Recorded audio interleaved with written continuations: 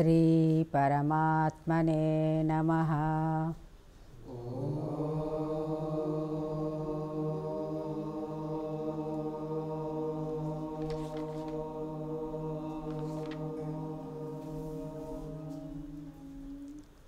श्रीपरमात्मने नमः। अथ चतुर्दशोऽध्यायः गुणत्रयविभागयोगः।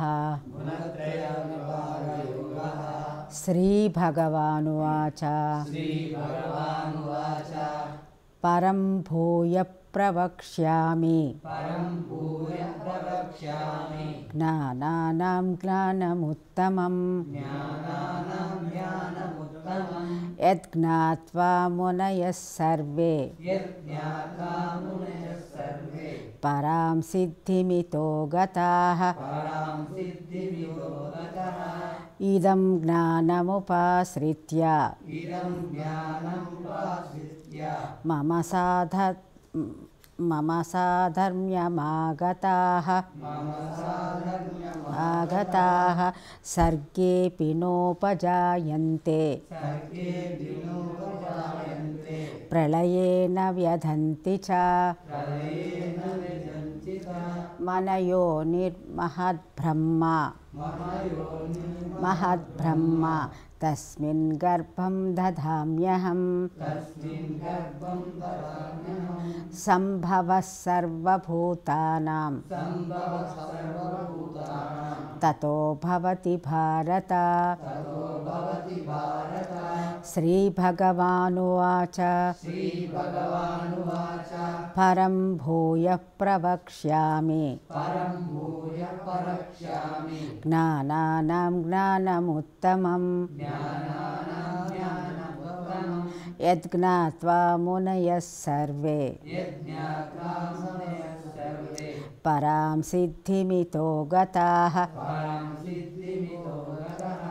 इदं ज्ञानमुपाश्रित्य। मम साधर्म्यमागताः। आगताः सर्गेऽपि नोपजायन्ते। प्रलयेन व्यधन्ति च। मम यो निर्महद्ब्रह्मा। महद्ब्रह्मा तस्मिन् गर्भं दधाम्यहम्। सम्भवः सर्वभूतानां ततो भवति भारत। श्रीभगवानुवाच। परं भूयः प्रवक्ष्यामि। ज्ञानानां ज्ञानमुत्तमम् यज्ञात्वा मुनयः सर्वे। परां सिद्धिमितो गताः। इदं ज्ञानमुपाश्रित्य। मम साधर्म्यमागताः। सर्गेऽपि नोपजायन्ते प्रलयेन व्यधन्ति च। मम यो निर्महद्ब्रह्मा तस्मिन् गर्भं दधाम्यहम्। सम्भवः सर्वभूतानां ततो भवति भारत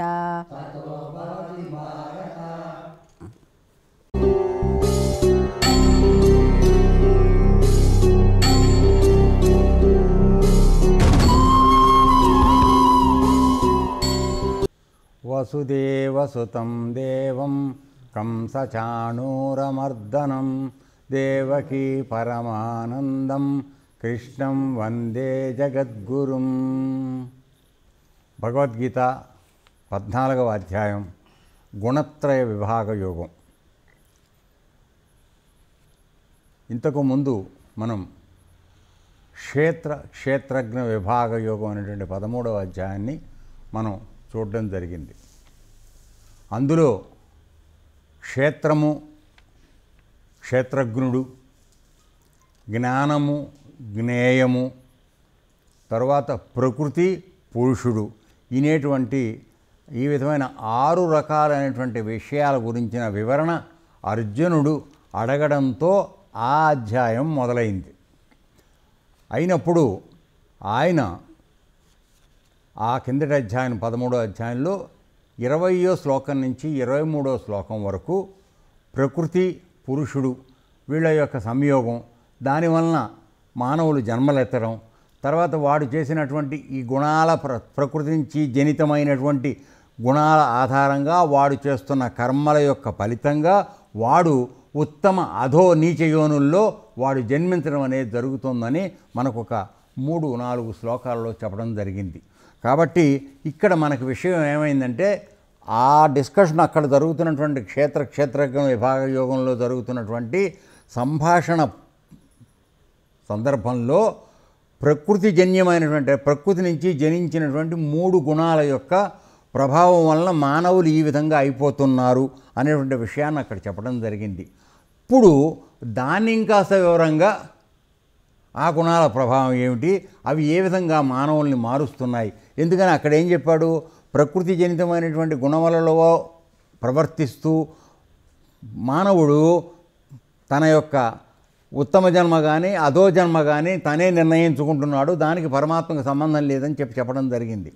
అయితే అవి ఇప్పుడు ఏ విధంగా చేస్తే మనం ఉత్తమ జన్మలో ఉంటాము? లేక ఏ విధంగా గుణాల ఆధారంగా మనం ప్రవర్తిస్తే అధో యోనులోకి నీచ యోనులోకి మనం పడిపోతాం అనేటువంటి వివరాన్ని చెప్పడం జరుగుతోంది. ఎందుకంటే మీ అందరికీ ఆల్రెడీ చెప్పినట్టుగా పదమూడవ అధ్యాయం నుంచి పద్దెనిమిదో అధ్యాయం వరకు దీన్ని జ్ఞానకాండ అంటారు. ఈ జ్ఞానకాండలో చెప్పేటువంటి ఆరు అధ్యాయాలు కూడా పూర్తిగా జ్ఞానయోగానికి సంబంధించినటువంటి ఇవి. కాబట్టి మనకు పదమూడో అధ్యాయం మొట్టమొదటగా అంతర్యోగాన్ని గురించి తెలియపరుస్తూ అసలు నీవెవరు? ఈ క్షేత్రం అంటే ఈ శరీరం ఒకటేనా? దానిలో ఉన్నటువంటి ఇరవై నాలుగు తత్వాలతో కలిపినటువంటి స్థూల సూక్ష్మ కారణం. ఈ శరీరాలన్నీ కలిసినటువంటిది తర్వాత మనసు బుద్ధి ఇంద్రియాలన్నీ కలిసిన సమూహం ఏదైతే ఉందో దాన్ని క్షేత్రం అనబడుతోందని చెప్పాడు. ఆ క్షేత్రానికి జడత్వం స్వయంగా దానికి చలనశక్తి లేదు. అయితే క్షేత్రగుణుడుగా దాన్ని చూస్తూ ఉన్నటువంటి క్షేత్రగుణుడుగా ఉన్నటువంటి జీవాత్మ కేవలం పరమాత్మ యొక్క ప్రతిరూపం. నిజానికి అతనికి ఏ విధమైనటువంటి సంగత్వం లేదు. పరమ పావనుడు. తర్వాత ఏ విధమైన మలినాలు లేనటువంటి వాడు. అయితే దగ్గరలో ఉన్నటువంటి ప్రకృతి యొక్క వాసన వీడికి తగలటం వలన దీని వేపుగా వాడు వెళ్ళిపోయి పడి ప్రకృతితో సంయోగం చెందిన తర్వాత ఈ విధంగా తను ఈ శరీరం అనే భావంలోకి వెళ్ళిపోయి ప్రకృతితో మమేకం అయిపోయిన తర్వాత ఆ ప్రకృతి సృష్టించినటువంటి మూడు గుణాల యొక్క ప్రభావంలో పడిపోయి తన జీవితాన్ని ఉద్ధరించుకోవడం కానీ పాడు చేసుకోవడం కానీ రెండు వాడే చేసుకుంటున్నాడు సుమా అని అక్కడ మనం చూడడం జరిగింది. ఒకసారి మనం ఆ కిందటి అధ్యాయంలో మూడు శ్లోకాల్లో మనకు చెప్పిన విషయాన్ని కొద్దిగా తెలుసుకోవడానికి ప్రయత్నం చేస్తే మనకు మళ్ళీ జ్ఞప్తి వస్తుంది. అందుకోసం ఆ ప్రయత్నం చేద్దాం. మొదటగా ఇరవయో శ్లోకంలో ఆయన ఏం చెప్పాడంటే మాయ ఈ సంసారము దాని నుంచి వచ్చే బంధం ఇవన్నీ కూడా ఎప్పటి నుంచి మొదలైనాయి అని అడిగితే ఎవరూ చెప్పలేని విషయం. ఎందుకంటే సృష్టి అనాది. కాబట్టి పరమాత్మ అనాది సృష్టి కూడా అనాది. ఎప్పటి నుంచి మొదటి నుంచి రెండు ఉన్నాయి. కాబట్టి ఈ రెండింటిని ప్రకృతిని పురుషుని రెండింటిని అనాది అని చెప్పి చెప్పడం జరిగింది. అయితే ఇది అనాదిగా ఉన్నప్పటికీ దీనికి ఎన్నో రకాలైనటువంటి వికారాలు ఉన్నాయి. అంటే మార్పులు చెందుతూ ఉంటుంది. దానికి పక్కన ఉన్నటువంటి చైతన్యుడు స్వరూపమైనటువంటి జీవాత్మ లేక క్షేత్రకుడు ఎవరైతే ఉన్నాడో వీడు కూడా అనాదే. ఎందుకంటే ఎంతకాలం అయితే తనకి ఆధారం చైతన్య స్వరూపం అయ్యి తనకు చైతన్యాన్ని ఇస్తున్నటువంటి పరమాత్మ యొక్క సంయోగం పొందకుండా వీడిగా తను బతుకుతున్నాడో అంతకాలం వీడు ప్రకృతిలాగానే అనాదిగా ఉన్నాడు. రెండు అనాది. అయితే ఆ దీనికి క్షేత్రగుణుడికి అన్- అనాది ఉన్నది కానీ అనంతం మాత్రం కాదు అది దానికి అంతం ఉన్నది. ఎంతకాలం ఉంది? అనంతంగా ఉంటున్నాడు లేక అంతం ఎప్పుడు ఉంది అనేటట్లయితే ఎప్పుడైతే ప్రకృతితో ఉన్న సంబంధం ఎడమ పక్కకు వెళ్ళటం మానేసి కుడి పక్కన ఉన్నటువంటి పరమాత్మ వైపుకు మారి మరలి ఆయనలో ఐక్యమైపోతున్నాడో అప్పుడు వాడి యొక్క ఉనికిని కోల్పోయి వాడు అంతమైపోతున్నాడు. పరమాత్మ స్వరూపం అయిపోతున్నాడు. వాడికి ఇంకా చావు పుట్టుగల ప్రసక్తి లేదు. ప్రకృతితో మమేకత్వం అంతకన్నా ఉండదు అనేటువంటి విషయాన్ని అక్కడ చెప్పిన తర్వాత కాబట్టి ఇక్కడ ఆ ప్రకృతి జనితమైనటువంటి జడస్వరూపం అనేటువంటి ఇవి జరుగుతున్నప్పుడు మరి మానవుడు తా దానితో తదే తమేకం మమేకం అయిన తర్వాత కలిగినటువంటి సుఖ దుఃఖాలు అనేవి ఏవైతే ఉన్నాయో వాటిని మాత్రం క్షేత్రగుండే అనుభవిస్తున్నాడు.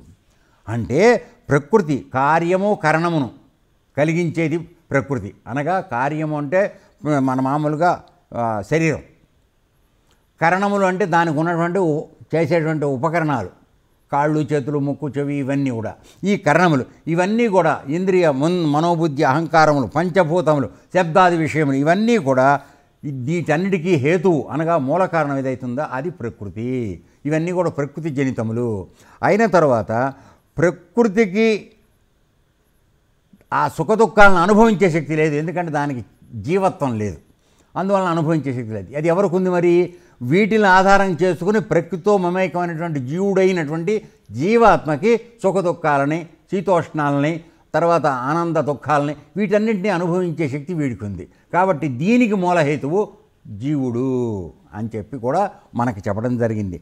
తర్వాత ప్రకృతి యొక్క గుణములతోటి కలయికతోనే ఈ జీవుడి జన్మ హేతు అవుతోందని చెప్పడం జరిగింది. అక్కడ వచ్చింది మనకి. ఇవాళ ఇప్పుడు కావాల్సిన విషయం దీంట్లో ఇక్కడ వచ్చింది. ఏమిటి చెప్పాడు అక్కడంటే ప్రకృతి ఎందున్నవాడైన పురుషుడు అంటే ఇందాక చెప్పాను లెఫ్ట్కి ఎవరైతే వెళ్ళిపోయి ప్రకృతితో కలిసిపోయి ఉంటున్నాడో అమ్మవారితో వాడు పురుషుడు ప్రకృతి వలన సుఖ దుఃఖాది గుణాలను అనుభవిస్తూ తర్వాత ఆ ప్రకృతి వలనే ఏర్పడినటువంటి మూడు గుణాల కలయికతో సుఖదుఖాలను అనుభవిస్తున్నాడు అని ఇక్కడ చెప్పడం జరిగింది. సో ఇక్కడ ప్రకృతి పురుషుడు ప్రకృతితో కలిసిన ప్రకృతిస్థ పురుష వాడు ఎప్పుడైతే వాటితో కలిసి ప్రకృతితో కలిసి ఉంటున్నాడో వాడికి దా వాడిద్దరి మధ్య కలయికతో ఏర్పడినవి పిల్లలు మూడు గుణాలు ఇలా చెప్పుకుంటే మనకు బాగా అర్థమవుతుంది. ప్రకృతి పురుషుడు కలిసినప్పుడు వాళ్ళిద్దరికీ పుట్టినటువంటి పిల్లలు మూడు గుణాలు ఈ మూడు గుణాలు కలగజేసేటువంటి సుఖదుఖాలు ఏవైతే ఉన్నాయో వాటి ద్వారా వచ్చినవి దాన్ని ఈ జీవుడు అనుభవిస్తున్నాడు. ప్రకృతి అనుభవించడం లేదు. అర్థమైందా? దానికి ఉదాహరణ. ఆ ఆహారం తీసుకుంటున్నావు. ఎంత తినాలనేది నీ పొట్టకు తెలియదు. నీ నోటికి అంతకన్నా తెలియదు. తీసుకెడుతున్నటువంటి ఆహార గొట్టానికి ఏమీ తెలియదు. కానీ నీ లోపల ఉన్నటువంటి జీవుడు ఎవరైతే ఉన్నారో వారికి తాళరా కడుపు నిండిని తినకని చెప్తున్నాను అది చెప్పినప్పుడు ఇక దాలమ్మ పెట్టద్దని. అమ్మగారు మళ్ళీ వచ్చి కాస్త పెడతానంటే వద్దమ్మా కడుపు నిండిపోయింది తినలేనంటారు. ఇప్పుడు ఎలా అంటున్నారు ఎవరంటున్నారు ఈ మూడు చెప్పటం ఆ మాట. చెప్పేవాడు జీవుడు. అనుభవించేవాడు ఎవడంటున్నాడు వాడు. సో ఈ విధంగా చెప్పడం జరుగుతుంది. కాబట్టి ఈ ప్రకృతితో సంయోగం వలన పురుషుడు పొందుతున్న అనుబంధం ఏదైతే ఉందో ఇది జరుగుతోంది. అయితే వీళ్ళిద్దరూ కలిసినప్పుడు వచ్చేవేమిటి? మూడు గుణాలు. ఈ మూడు గుణాల్లో మూడు సత్వరజస్తమో గుణాలు. తో కొంతమంది ఈ మూడు గుణాలు అందరికీ ఉన్నాయి. దయచేసి గుర్తుపెట్టుకోండి. అందరికీ అన్ని గుణాలు ఉన్నాయి. అయితే ఒక్కొక్కడికి ఒక్కొక్క పూర్వజన్మ సంస్కారం వలన వాడు చేసుకున్నటువంటి పూర్వజన్మ సంస్కారం వలన తర్వాత వాడు పెరుగుతున్నటువంటి వాతావరణ పరిస్థితుల వలన వాడి స్నేహితాల వలన వాడి అలవాట్ల వలన వాడి యొక్క వ్యవహారం వలన వాడిలో ఒక్కొక్క గుణం ఎక్కువగా ఉండడం జరుగుతోంది. ఆ ఒక్కొక్క గుణం ఎక్కువగా ఉన్నప్పుడు వాడి ప్రవర్తన ఒక్కొక్క రకంగా ఉంటుంది. అర్థమైందా? సో ఇటువంటి ఫలితం జరుగుతున్నప్పుడు కలిగేటువంటి అనుభవాలు ఏవైతున్నాయో వాటిని సుఖదుఖాలు అన్నారు. అర్థమైందా?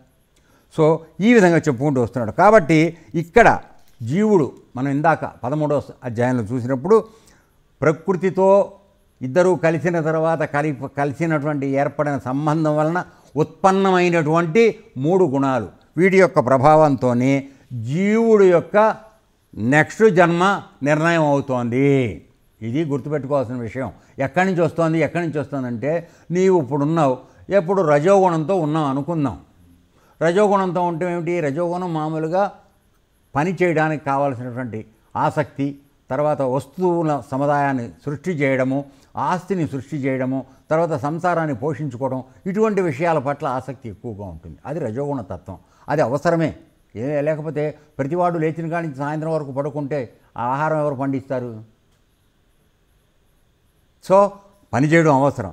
అయితే ఆ పని చేసేటప్పుడు పక్కవాడి పొలంలోది కూడా ఆక్రమణ చేసేసి కబ్జా చేసి లేకపోతే వాడు లేనప్పుడు ఒక రెండు కట్టలు కంకులు కోసం మన దాంట్లో వేసుకుని ఇట్లాంటి దుర్మార్గాలు ఏవో చేస్తున్నాం అనుకో అప్పుడు అదేమైంది విపరీత జ్ఞానం అయింది. రజోగుణం ఉండాల్సిన అవసరం ఉంది కానీ దాన్ని దుర్వినియోగం చేయడం జరుగుతుంది. అలాగే తమోగుణం నిద్రపోవడం అవసరం అనుమానం లేదు. ఎందుకంటే పగలంతా శ్రమించిన తర్వాత శరీరమునకు ఇంద్రియాలకి మనస్సుకి కూడా విశ్రాంతి అవసరం. అందువలన పరమాత్మ రాత్రిపూట నిద్రపోయే ఏర్పాటు తమోగుణం ఏర్పాటు చేశాడు. అంత మాత్రం చేత రాత్రి ఒంటి గంట వరకు మేలుకుని కుక్క కాళ్ళు మేక కాళ్ళు తిని రెండింటికి పడుకుని తొమ్మిదింటికి లేవడం అనేది మనుషులు చేయాల్సిన పని కాదు. సో ఇప్పుడు దీనివల్ల ఏమవుతుంది? తమో గుణాన్ని నువ్వు విపరీతంగా వాడుకోవడం జరుగుతుంది. అర్థమవుతుందా? సో ఈ విధంగా ఎక్కువగా మానవులు తప్పు చేసేటువంటి పరిస్థితులు తీసుకొచ్చేవి తమో గుణము రజోగుణము. సత్వగుణం వల్ల ఎక్కువ ప్రమాదం లేదు. అసలు ఇప్పుడు సత్వగుణం అనేది ఉండడం చాలామందిలో తక్కువగా ఉంటుంది. సో పరమాత్మ మనకి భగవద్గీతలో ఏం చెప్పబడుతోంది? ఒరే నాయన నీ మంచు కోసమే ఈ సత్ స- తజోగుణ తమోగుణాన్ని రజోగుణాన్ని పెట్టాను. దాన్ని సద్వినియోగంగా వాడుకుని నువ్వు ప్రపంచంలో ఉత్పత్తికి సంక్షేమానికి వాడుకో అని చెప్పి చెప్పింది. నీకు మంచి కోసం వాడుకోమని. కానీ మనం అవి సరిగా వాడడం లేదు. కాబట్టి మనకు పుట్టినప్పుడేమో మూడు ఉన్నాయని చెప్పుకున్నాం కదా. కాబట్టి ఉన్న వాటిని నువ్వు తీసేసే పని లేదు కనుక ఎక్కువగా తమో గుణంలో ఉండడం తగ్గించుకుని తద్వారా అంటే బద్ధకంగా తిని పడుకోకుండా భార్య ఎక్కడో ఇళ్ళలో పని చేసుకుంటూ వీడు తాగి పడుకోకుండా అటువంటి పని చేయకుండా అంటే దుర్మార్గమైన తమో గుణం అది ఓకే? సో ఈ విధంగా కాకుండా వాడు కూడా పనిచేస్తూ భార్యకి సహకారంగా ఇద్దరు కలిసి సంసారం నడుపుకోవాలి. ఈ సం సంసారం నడపడానికి పని చేసేటప్పుడు పక్క వాళ్ళకి అన్యాయం జరగకుండా వాళ్ళని దోచుకోకుండా అమాయకులను దోచుకోకుండా ఉండడం చేయడం రజోగుణాన్ని సరిగా వాడుకోవటం అవుతుంది. కాబట్టి తమో గుణాన్ని తగ్గిస్తూ రజోగుణాన్ని పెంచుకుంటూ దాని ద్వారా మంచి పనులు చేస్తూ నువ్వు సత్వగుణంలోకి ప్రయాణం చేయడం నువ్వు చేయవలసినటువంటి ప్రయాణం.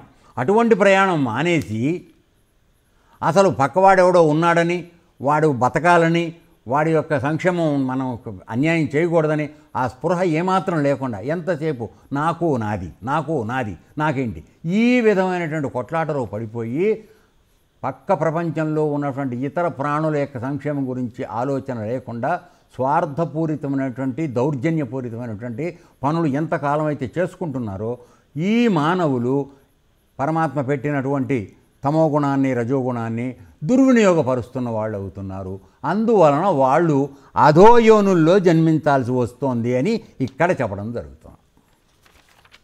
అర్థమైందా? కాబట్టి ఇప్పుడు ఇచ్చినటువంటి గుణాన్ని సద్వినియోగపరచుకోవడం లేక దుర్వినియోగపరచుకోవడం అనేది నువ్వు చేస్తున్నావా పరమాత్మ చేస్తున్నాడా? మనం.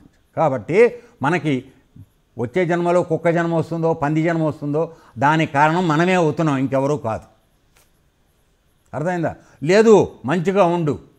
చేసే పని వల్ల ఒక మనిషికి ఎవరికైనా సహాయం జరిగేటట్టుగా చూడు. నీ చేతనైనంత వరకు. ఈ విధంగా చేసుకుంటూ పెడితే ఖచ్చితంగా నీకు మళ్ళీ మానవ జన్మ ఇస్తారు. ఎందుకని? ఇంకాస్త మంచి పనులు చేస్తూ ముందుకు వెళ్ళటానికి. అదేనా కాబట్టి ఇక్కడ ప్రకృతి పురుషుడు కలిసిన తరువాత ఏర్పడిన సంబంధంతో వచ్చినటువంటి మూడు గుణాల యొక్క కలయిక వలన మానవుడు తన యొక్క భవిష్యత్తులో జరిగేటువంటి జన్మలకి కారకుడవుతున్నాడు. అది నీచమా ఉచ్చమా అనేది వాడి కర్మలను బట్టి ఆధారపడి ఉంటుంది అనేది ఇక్కడ మనం కిందటి అధ్యాయంలోనే మనకి చెప్పడం జరిగింది. ఆ విధంగా మనకి ప్రకృతి పురుషుడు యొక్క సంయోగం ప్రకృతి పురుషుడు అంటే ఏమిటో మనకు అక్కడ చెప్పడం జరిగింది. జరిగిన తర్వాత ఏం చేశాడు?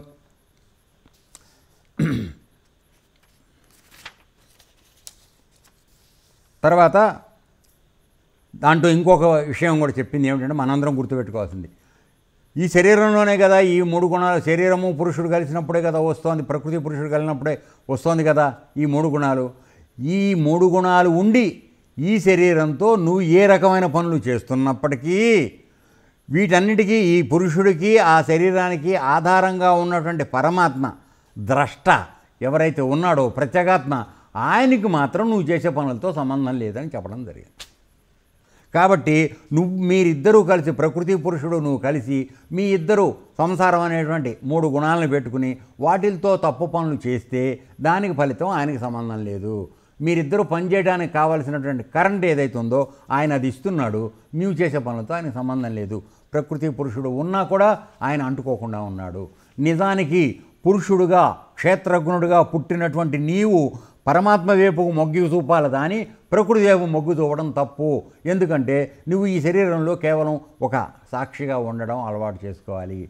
అప్పుడు ఈ శరీరం ద్వారా నువ్వు పాప పనులు చేయడం తగ్గిపోతుంది. ఆ విధంగా నువ్వు భగవంతుని మార్గానికి వెళ్ళటానికి వీలవుతుంది అనేది ఆ అధ్యాయంలో మన అందరికీ కూడా చెప్పడం జరిగింది. అయిన తర్వాత ఈరోజు ఈ అధ్యాయం ఇప్పుడు అక్కడ క్షేత్ర క్షేత్రజ్ఞుడి యొక్క విభాగాన్ని చెప్తూ మనకు చెప్పి ఇక్కడ ప్రకృతి పురుషుల యొక్క సంయోగం వలన ఏర్పడినటువంటి మూడు గుణాల విషయాన్ని గురించి మనకి తెలియజెప్పడానికి ప్రయత్నం జరుగుతుంది. సో కిందటి అధ్యాయంతో ఈ అధ్యాయానికి పూర్వాధ్యాయానికి దీనికి ఉన్న సంబంధం ఏమిటి అనేది మనం ఇప్పుడు తెలుసుకోవడానికి ప్రయత్నం చేసాం అది కొద్దిగా అర్థమైందని అనుకుంటున్నాను. రైట్ అయిన తర్వాత ఈ ఇప్పుడు ఇవన్నీ చెప్పిన తర్వాత ఇక్కడ ఈ గుణత్రయ విభాగంలో మనం చూస్తున్నటువంటి విషయాలు ఏమిటంటే ఈ సప్త రజస్తమో గుణాలు అనేటువంటి మూడు గుణాలు ఏమిటో మనకు చెప్తాడు వివరంగా. మనం ఊరికి అక్కడ టచ్ చేసాం మీకేదో నేను ఉదాహరణ చెప్పాను. ఈయన వివరంగా చెప్పబోతున్నాడు పరమాత్మ. తర్వాత వాటి యొక్క స్వభావం ఏమిటి? అంటే ఒక్కొక్క గుణం యొక్క స్వభావం ఎట్లా ఉంటుంది? అది కూడా చెప్పబోతున్నాడు. తర్వాత అవి జీవుణ్ణి ఏ ప్రకారంగా బంధిస్తున్నాయి? అంటే నువ్వు ఏ గుణంలో ఉంటే అది ఏ విధంగా నిన్ను బంధిస్తుంది? తద్వారా నీకు రాబోయే జన్మ ఉత్- ఉత్తమమైందా? నీచమైందా? అనేది నిర్ణయం అవుతుంది. ఆ విధంగా అది చెప్పడానికే ఆ వివరాలు చెప్తుంది. తర్వాత ఒక్కొక్క జీవుని యందు అధికముగా ఉన్నప్పుడు అతడు ఏ ఏ లక్ష్యములను కలిగి ఉంటాడు? ఇప్పుడు ఇది కరెక్ట్ పాయింట్. అనంగా తమో గుణంలో బాగా ఉన్నటువంటి వాడు తాగి పడుకుని కోపంతో ఎవడన్నా చెప్తే వాడిని కొట్టడం చేస్తూ ఇట్లా ఉండేటువంటి వాడు తమోగుణ ప్రధానుడై ఉంటాడు. వాడిని అది వాడిని ఏ విధంగా వాడికి ఏ లక్షణాలు ఏ విధంగా ప్రకటితం అవుతూ ఉంటాయి? తమోగుణం ఎక్కువగా ఉన్నవాడికి. అలాగే రజోగుణం ఎక్కువగా ఉన్నవాడి యొక్క లక్షణాలు ఏ విధంగా ఉంటాయి? తర్వాత అట్లాగే సత్వగుణంలో ఉన్నాడు వాడి యొక్క గుణాలు ఏ విధంగా ఉంటాయి? ఈ వివరాలు కూడా మనకి ఈ అధ్యాయంలో చెప్పబోతున్నాడు. తర్వాత ఆ గుణాలని ఆశ్రయించి ఉండడం వలన జీవుడికి కలిగే ఫలితం ఏమిటి? అంటే మూడు గుణాలు మన దగ్గర ఉన్నాయి కదా. దేన్ని ఇప్పుడు మనం వాడుకుంటే మంచి మార్గంలో ఉండే అవకాశం ఉంది? ఇప్పుడు ఉన్న ఉన్నంత వరకు మీకు ఏ గుణం మనం మంచి ఉండడానికి బాగుంటుంది? సత్వగుణం. వెరీ గుడ్ సో మనం సత్వగుణాన్ని ఎక్కువగా ఆధారం చేసుకునేటట్లయితే మన భావి జీవితం బాగుంటుంది. మనం ఉత్తమ జన్మకు వెళ్ళే అవకాశం వస్తుంది. సత్ రజోగుణాన్ని తమో గుణాన్ని ఎక్కువగా తీసుకుంటే ముఖ్యంగా తమో గుణాన్ని ఎక్కువగా ఆధారపడి దాని ప్రభావంలో పడిపోతే మళ్ళీ మీరు మానవ జన్మకి రారు. ఇది మాత్రం బండ గుర్తు పెట్టుకోండి. ఇది మీ విషయం మళ్ళీ చెప్పబోతున్నాడు మనకు ఆయన ఖచ్చితంగా అధోయోనులోకి వెళ్ళిపోతాం మనం. నీచ జన్మల్లోకి వెళ్ళిపోతాము. ఏమవుతామో మనకు తెలియదు పాము అవుతామా తేలవుతామా? ఏమవుతామో మనకు తెలియదు అర్థమైందా? లేదు రజోగుణంలో ఉన్నావు. విపరీతంగా ప్రయత్నం చేసావు ఆ క- ఉచ్చ నీచం లేకుండా సంపాదించావు. దీనివల్ల ఏమవుతుంది? అంటే అప్పుడు కూడా నువ్వు కింద జన్మలకు వెళ్ళిపోతావు రజోగుణంలో ఉండి కొంతవరకు స్వార్థం కోసం కొన్ని చేసుకుంటున్నా ఇతరులను మోసం చేయడం తక్కువ చేసావనుకో వెంకటరెడ్డి ఇతరులను మోసం చేసడం తగ్గించుకుని చేసుకున్నావు అనుకో నీకు మళ్ళీ మానవ జన్మ ఇస్తాం. ఎందుకంటే కాస్త బాగుపడరా అయ్యా? కింద వరకు ఏదో కొద్ది కొద్దిగా చిన్న చిన్న చారానమందం పాపాలు చేసావు అవి తగ్గించుకో. పాపాలు లేకుండా ఉండు. మంచిదానికి పో. సత్వగుణానికి వెళ్ళమని నీకు మళ్ళీ మానవ జన్మిస్తారు ఈ విధమైన ఏర్పాట్లు అన్నీ కూడా అక్కడ ఉన్నాయి. సరే మనకి శరీరం లేదు కనుక ఈ శరీరం దాటి మనకి తెలియదు కనుక అవేం జరుగుతున్నాయనే విషయం మనకు తెలియదు కనుక మనం ఇప్పుడు ఈ జన్మలో ఈ శరీరంతో ఏం చేసినా నడిచిపోతుందని భగవంతుడు అనేవాడు ఒకడు ఉన్నాడని వాడు చూస్తాడని లెక్క వేస్తాడని జ్ఞానం లేకుండా మానవ జన్మలోనే పశువులాగా మనం ప్రవర్తిస్తున్నాం. ఇది దురదృష్టకరమైన సంఘటన.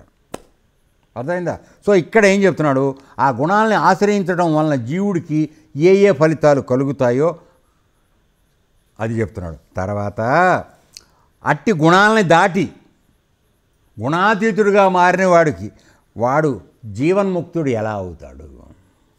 అంటే ఇప్పుడు గుర్తుపెట్టుకోండి ప్రకృతి నుంచి జనితమైనటువంటి మూడు గుణాలే మన యొక్క భావి జీవితానికి అనగా రాబోయే జన్మలకి పునాది అవుతోంది.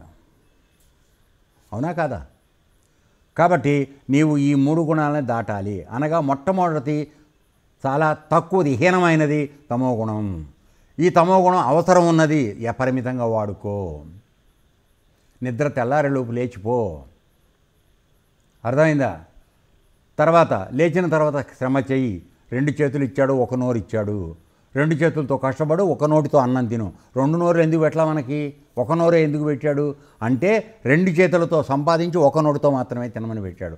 అంటే మిగతా రెండో చేతితో తయారు చేయింది ఇంకోటికి వెళ్ళాలని అర్థం. ఆ జ్ఞానం మనకేమైనా ఉన్నదా? లేదు. పక్క వాళ్ళ చేతులు కూడా మూడు నాలుగు చేతులు కూడా తెచ్చి మనం లోపల వేసుకుందామని ప్రయత్నం చేస్తున్నాం. ఇదిగో ఇక్కడ జరుగుతోంది దుర్మార్గం. అర్థమైనా సో ఈ విధంగా గుణాలని దాటడం నేర్చుకున్న తర్వాత ఈ గుణాలు దాటినటువంటి గుణాతీతుడు అయినవాడు సత్వగుణాన్ని కూడా దాటాలి. అంటే ఏమిటి? సత్వగుణంలో ఉన్నప్పుడు మంచి చేద్దామనే సదభిప్రాయం ఉంటుంది. అందులో అనుమానం లేదు. కానీ వాడి సౌఖ్యాన్ని వదులుకుని మాత్రం చేయడు. అంటే నాకు లేకుండా పెట్టాడు. నాకు పెట్టుకుంటూ పక్కవాడికి పెడుతున్నాడు. అంతవరకు వాడిని ఒప్పుకోవాలి. నాకు పెట్టుకున్నా కూడా కాకి వచ్చి వాళ్తే ఎంగిల్ చేత్తో ఇట్టాను విదిలించడం కూడా చేయని వాడు మానవాళ్ళు ఉన్నారు. వాళ్ళు మానవులే.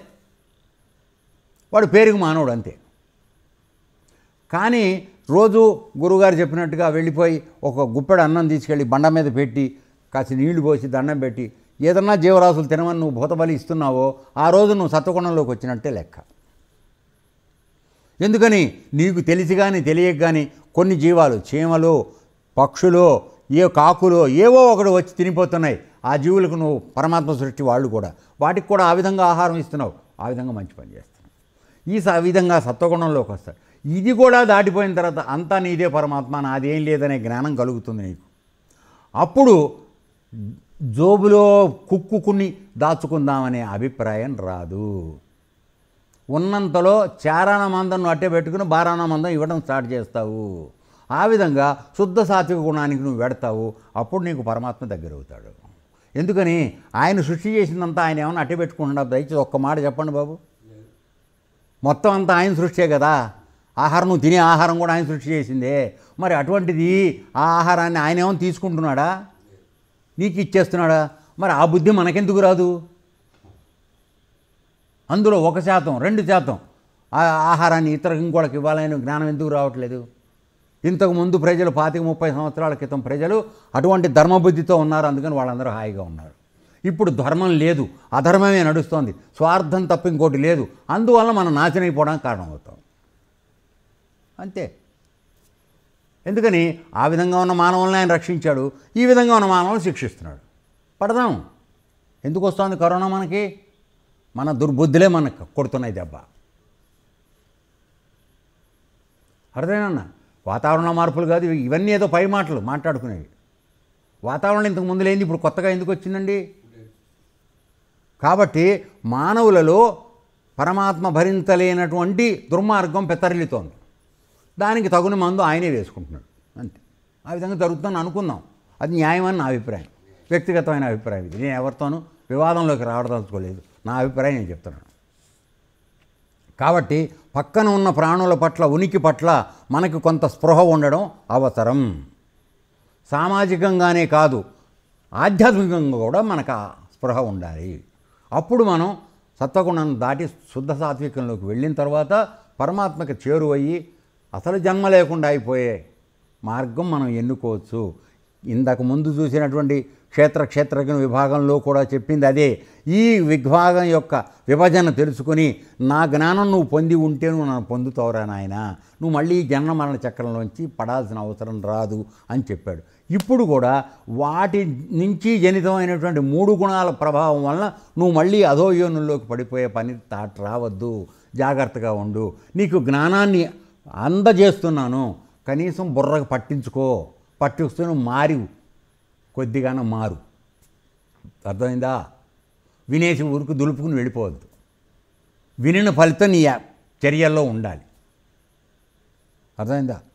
సో ఆ విధంగా దాని గురించి చెప్తున్నాడు. తర్వాత ఈ మూడు గుణాలు దాటిన వాడికి గుణాతీతుడైన వాడికి జీవన్ముక్తుడు అవుతాడు అనగా బతికుండగానే వాడు పరమాత్మ స్వరూపాన్ని పొందుతాడు. సో ఇటువంటి విషయాలన్నీ చెప్తున్నటువంటి అధ్యాయం కాబట్టి దీన్ని గుణత్రయ విభాగ యోగము అనేటువంటి పేరు పెట్టడం జరిగింది. తర్వాత ఇప్పుడు ఈ గుణాల గురించి అంతా మనం వేర్చుకున్నాం కదా. న్యాయంగా మనకి అసలు ఆ గుణం ఎట్టా ఉంటుంది? తమో గుణం అంటే ఎట్టా ఉంటుంది? దాని ప్రభావం ఎట్టా ఉంటుంది? అది దాన్ని చేస్తే ఏమవుతుంది? అనేది తెలుసుకోవాలనే ఉత్సాహం మన అందరిలోనూ ఉంటుంది కదా. వివరంగా తెలుసుకుందామని. అంటే తెలుసుకున్నాక మారదాం మనం అది వేరే విషయం. ముందైతే తెలుసుకుందామని ఉత్సాహం మాత్రం ఉంటుంది తెలుగు సీరియల్ లాగా. నెక్స్ట్ది ఏమవుతుందో చూద్దాం చూద్దాం చూద్దామని దాని మీద ఫలితం ఏముంటుందో మనకు తెలియదు అది వేరే సంగతి. మారమన్నావో కష్టం అవుతుంది. వినోదులేమంటే సంతోషంగా వింటాం. కదా? సో ఇప్పుడు ఆయన సరే కనీసం వింటున్నారు కదా చెప్దామని చెప్పి ప్రయత్నం చేసి ఆయన దాని గురించి కూడా మనకి చెప్పడానికి ప్రయత్నం చేస్తున్నాడు. ఇది వింటే మనకు కలిగేది ఏమిటి? దాని నుంచి కలిగే లాభం ఏమిటంటే ఒరే నాయన ఈ పుట్టు చావడు అనేటువంటి జనన మరణ చక్రం నుంచి నీ విముక్తి ఇస్తానరా ముక్తి పొందరా హాయిగా ఉండరా నాతో ఉండరా నువ్వు మళ్ళీ మళ్ళీ పుట్టాల్సిన చచ్చిపోవాల్సిన అవసరం రాకుండా చేస్తాను. ఆ ఉపాయం చెప్తాను నీకు. కాస్త ఈ గుణాల ప్రభావాన్ని తగ్గించుకో. అర్థమైందా? అని చెప్పి అదే ఇప్పుడు సపోజ్ ఆ పెళ్ళాం తప్పితే ఇంకో లేదు సర్వం లేదని అనుకుంటూ ఉంటాను సేవా ఆ దీంట్లోంచి బయటికి రావాలి. పెళ్ళాం అవసరమే. పెళ్ళాంకి మొగుడు ఎంత అవసరం? మొగుడికి పెళ్ళాం అంతే అవసరం. కాదా? ఇద్దరికీ అవసరమే. ఇద్దరు కలిసిన తర్వాత మళ్ళీ సృష్టి చేశారు. దానికోసమే వివాహం చేసింది. మానవ జన్మ సృష్టి ఎట్లా జరుగుతుంది? భార్యాభర్తలు కలిస్తేనే సృష్టి జరుగుతుంది. అలా సృష్టి చేయడానికి మాత్రమే. కానీ మిగతా వాటికి వాడుకోవడానికి కాదు అది. మనం ఆ పరిధి దాటిపోతున్నాం. అక్కడ మనం దెబ్బతింటున్నాం. అది. సో ఈ విధంగా చెప్పదా కాబట్టి ఇప్పుడు అర్జునుడు అడగకుండానే ఒక రకంగా చెప్పినటువంటి జ్ఞానం క్షేత్ర క్షేత్రజ్ఞ విభాగ యోగం అనేటువంటి విధంగా చెప్పిన జ్ఞానాన్ని అదే జ్ఞానం ఎన్నిసార్లు చెప్పినా. ఇందాక ఎడమవైపు నుంచి చూపించాడు ఇప్పుడు కుడివైపు నుంచి గుణాల ప్రభావంతో ఎట్లా ఉంటుందని అదే జ్ఞానాన్ని మళ్ళీ చెప్పడానికి ప్రయత్నం చేస్తున్నాడు. అంటే భగవంతుడి యొక్క ఆతృత ఆవేదన ఏ విధంగా ఉంటుందంటే వింటున్నటువంటి సాధకుడికి ఏదో విధంగా ఆ జ్ఞానాన్ని వాడికి పట్టించాలనే ప్రయత్నం. సరే వాడు ఏమి పట్టించుకోడు అది వేరే విషయం. తర్వాత సంగతి. కానీ ఆయన ప్రయత్నం లోపం ఉండకూడదు కనుక ఒరే ఇట్లా అనుకున్నావా? కాదు. సరే ఇట్లా చేసి చూడు. ఇట్లా నీకు ఇష్టం అవుతుందేమో. అంటే ఎవడి యొక్క మానసిక పరిస్థితిని బట్టి వాడు విషయాన్ని అవగాహన చేసుకోవడానికి ఇష్టపడతాడో ఆ విధంగా నీకు చెప్పి ఎక్కించడానికి ప్రయత్నం చేస్తున్నాడు పరమాత్మ. సో క్షేత్రక్షేత్రగుణ విభాగంలో చెప్పినటువంటి జ్ఞానమే ఇంకొక రూపంగా. అంటే ఆ ఇద్దరు క్షేత్రక్షేత్రగుణుల సంభవంతో ఏర్పడినటువంటి మూడు గుణాల కలయిక వలన జరిగే ఫలితము దాని ద్వారా మనం పొందేటువంటి లాభము లేక నష్టము ఇవన్నీ కూడా ఈ జ్ఞానం ఎందుకు అవసరము? ఈ జ్ఞానం పొందితే మనకు కలిగే లాభం ఏమిటి? ఇవన్నిటిని గురించి తెలియచెప్పేటువంటి అధ్యాయం కాబట్టి దీన్ని గుణత్రయ విభాగ యోగం అన్నారు. ఇది కూడా జ్ఞానకాండకి సంబంధించినటువంటిదే. అర్థమైందా? సో ఆ విధంగా చెప్పడం ప్రారంభమైంది. తర్వాత ఇందాక మనకు చెప్తున్నాడు దాంట్లో జ్ఞానం గురించి జ్ఞాన అఖండ పరమార్థ జ్ఞానాన్ని చెప్తూ ఇందాక అక్కడ ఆపాడు. ఆ అధ్యాయంలో చివర ఇరవై ముప్పై ఐదో శ్లోకంలో ఆ విధంగా ముప్పై నాలుగో శ్లోకంలో ఆ విధంగా చెప్పడం జరిగింది. ఇప్పుడు దాని కంటిన్యూషన్ జ్ఞానాన్ని ఇంకో విధంగా చెప్పడానికి ప్రయత్నం జరుగుతోంది. చెప్పే విషయం జ్ఞానానికి సంబంధించింది. అర్థమైందా? సరే సరే మొట్టమొదటి శ్లోకం పరమాత్మ. ఇందులో అర్జునుడు అడగల నువ్వు అడగబోతావేమోనని ఊహించి నేనే చెప్తున్నాను ముందుగా. ఓకే సో ఆ విధంగా చెప్తున్నాడు. భగవాను వాచ భగవంతుడి ఈ విధంగా పలికేట. ఏమిటని? టీకా తాత్పర్యం చూద్దాం మొదటి శ్లోకానికి. యత్ అనగా దేనిని? అంటే చూసారా అక్కడ జ్ఞానం గురించి చెప్పాడు. కిందటి అధ్యాయంలో ఆఖరి శ్లోకంలో జ్ఞానం గురించి చెప్పాడు రా నాన్న. క్షేత్ర క్షేత్రజ్ఞ విభాగ యోగ జ్ఞానం చెప్పాడు.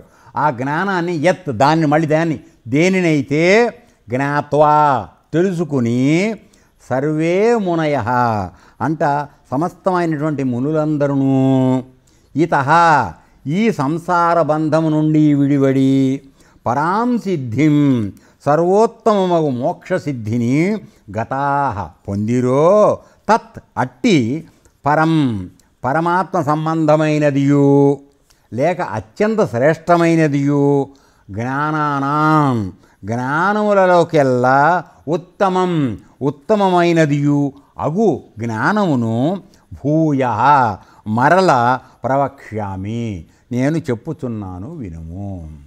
అంటే ఇంతకు ముందు నేను చెప్పినటువంటి దానికి ఏదైతే ఉందో దాని కంటిన్యూషన్గా దాని కొనసాగింపుగా ఇప్పుడు మళ్ళీ చెప్తున్నాడు. ఓ అర్జున దేరిని తెలుసుకొని మునులందరూ ఈ సంసార బంధము నుండి విడివడి సర్వోత్తమగు మోక్ష సిద్ధిని పడసిరో.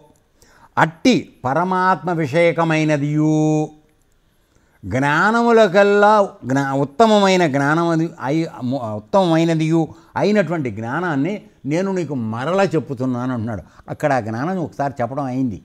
క్షేత్ర క్షేత్ర విభాగంలో మనకి ఆ జ్ఞానాన్ని చెప్పడం జరిగింది. ఇంకొక విధానంగా ఇంకొక విధంగా దీన్ని ఆ జ్ఞానాన్ని నేను మళ్ళీ చెప్తున్నాను సుమా. ఇక్కడ ఉదాహరణ ఏమి తీసుకుంటున్నాడు అంటే ఎవరిని ఉదాహరణగా చూపిస్తున్నా అంటే మునులని ఉదాహరణగా చూపిస్తున్నాడు.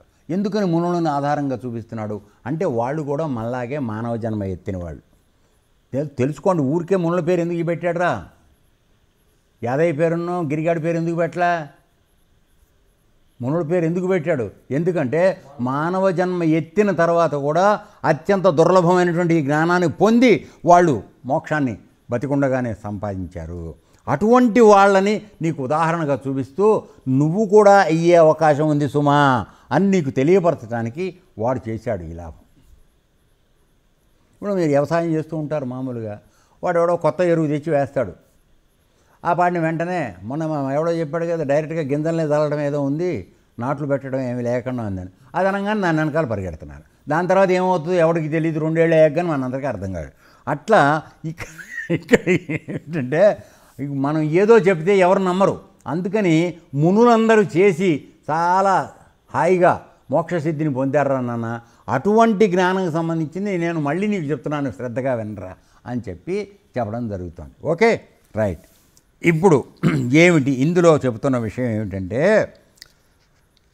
భూయ అని మొదటి మాట వేసిన అంటే నేను కిందటి అధ్యాయంలో చెప్పబడినటువంటి అఖండ జ్ఞానం ఏదైతే ఉందో నీకు మరల చెప్తున్నాను విను అని భూయ మరల చెప్తున్నాను విను అనే మాట ఏమిటి చెప్తున్నాడంటే తను చెప్పదలుచుకున్నటువంటి జ్ఞానయోగానికి సంబంధించిన విషయాన్ని ఇంకొక విధంగా ఆయన మనకి ప్రస్తావించడం దాని గురించి వివరించడం జరుగుతోందనేది తెలుస్తోంది. తర్వాత నేను ఇందాక మనవి చేసినట్టుగానే ఆయనకి ఎంత కరుణ ఉన్నదంటే ఈ జ్ఞానాన్ని ఎవరో ఒకడు విని ఆచరించి బాగుపడి నన్ను పొందాలి. ఈ జన్మ మరణ చక్రంలోంచి వాడు విడిపడాలి.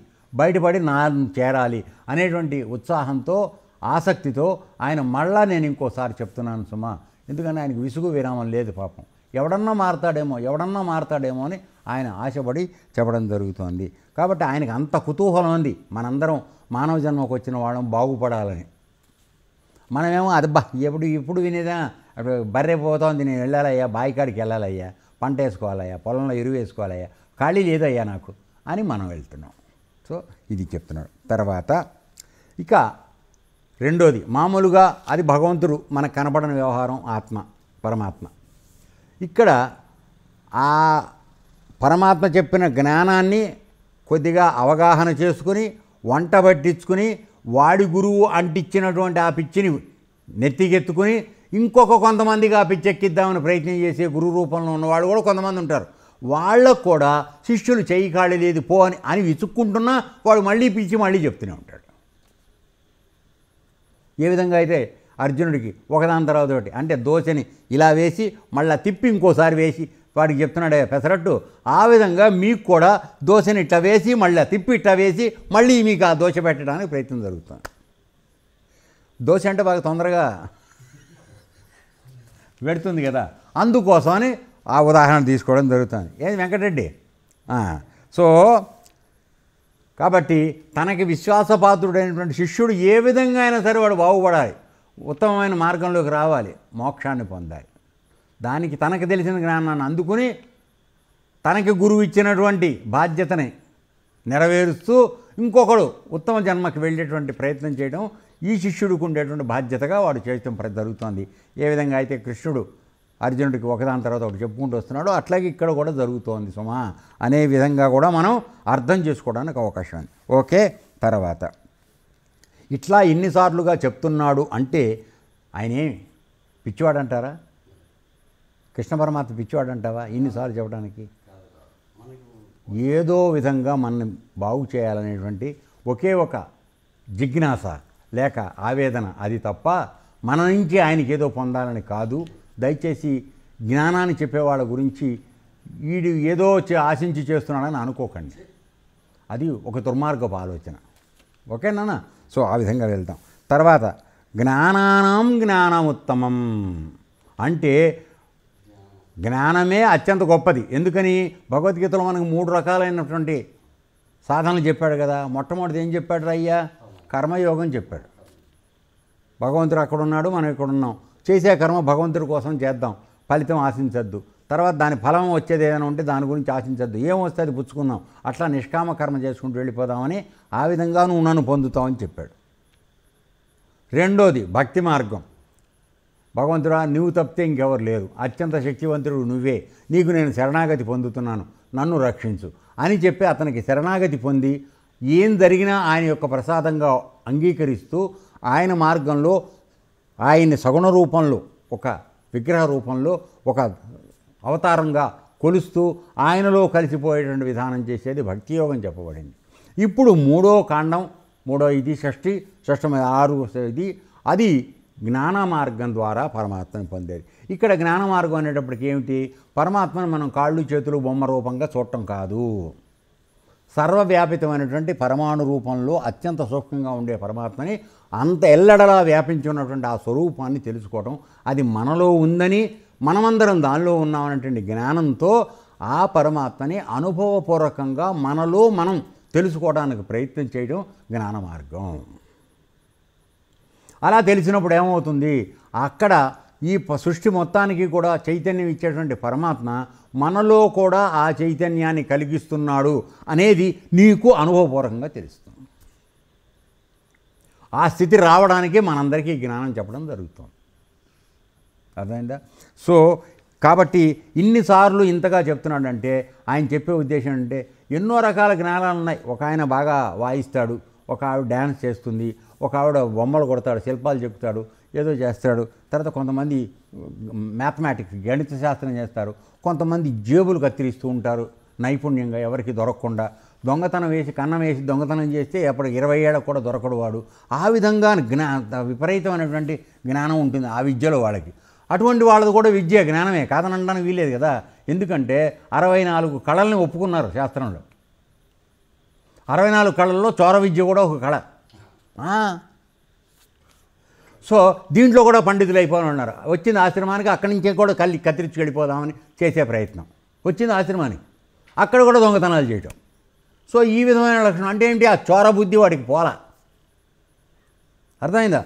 సో ఈ విధంగా ఎన్నో రకాల జ్ఞానాలు ఉన్నాయి. కానీ అసలు తెలుసుకోవాల్సిన జ్ఞానం ఏమిటంటే నువ్వెవరు? నువ్వు ఎక్కడి నుంచి వచ్చావు? ఈ శరీరం పోయాక నువ్వు ఎక్కడికి ఎడుతున్నావు? నీ యొక్క నిజస్వరూపం ఏమిటి? పరమాత్మ నీ ఎందు ఎలా ఉన్నాడు? ఆయన్ని నువ్వు అనుభూతం చేసుకోవడం ఎట్లాగూ?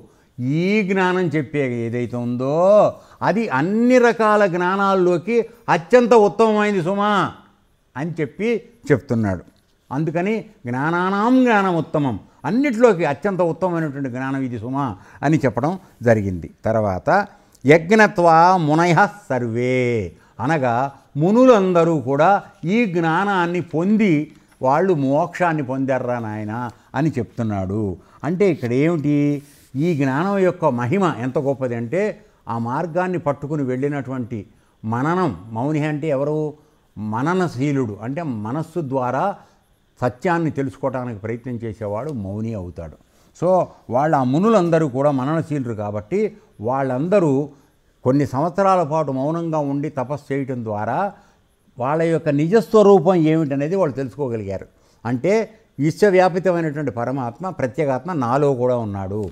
నేను ఆయన యొక్క పరమాణువుని లేక ఆయన యొక్క ప్రతి ప్రతినిధిని.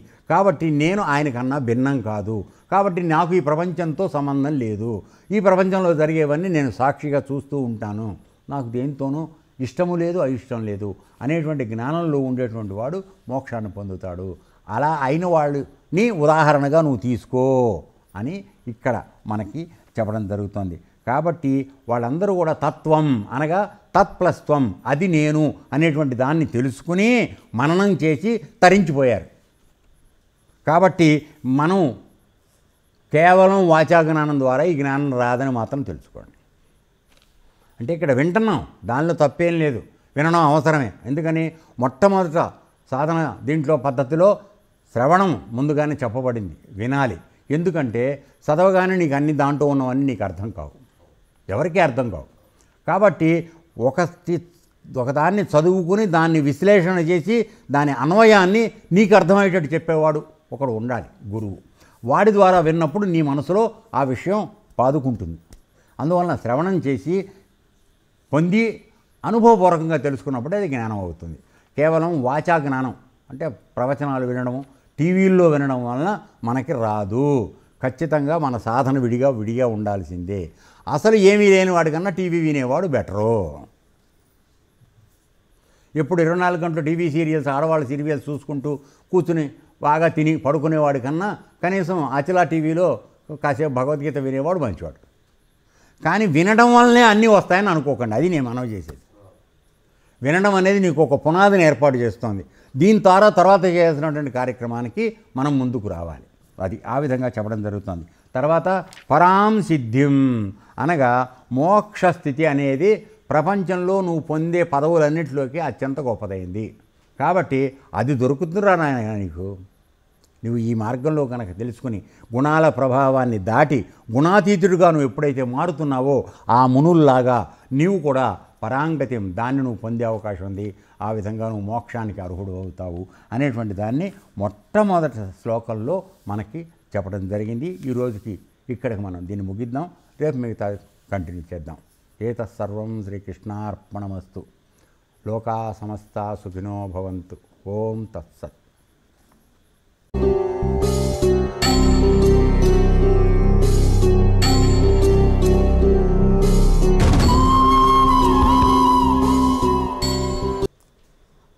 तत्सदिति। श्रीमद्भगवद्गीतासु। उपनिषत्सु। ब्रह्म विद्यायां योगशास्त्रे। श्रीकृष्णार्जुनसंवादे।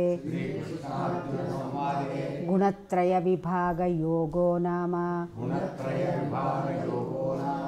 चतुर्दशोऽध्यायः। ॐ शान्ति शान्ति शान्तिः।